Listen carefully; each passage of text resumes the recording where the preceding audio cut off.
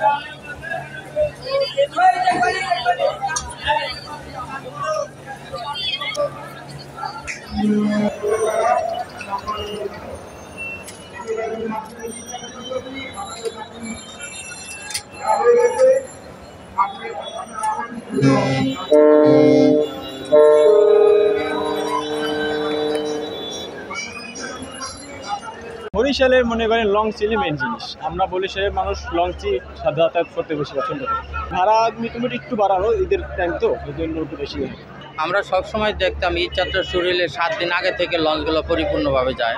কিন্তু পদ্মা সেতু উদ্বোধন হওয়ার পর থেকে আমাদের লঞ্চে সেই পর্যাপ্ত যাত্রী পাচ্ছি না।